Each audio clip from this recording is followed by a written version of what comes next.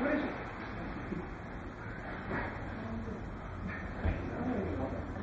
we're here, right? Remember I was talking about goals a little bit here?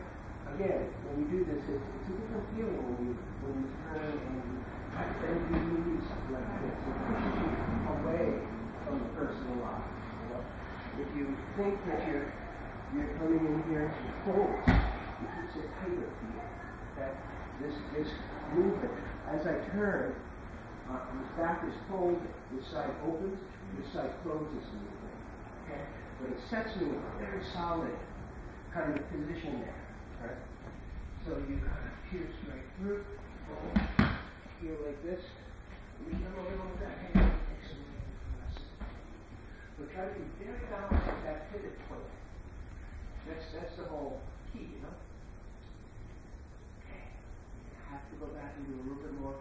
I've wasting enough time to have to practice. Try to help you all make it.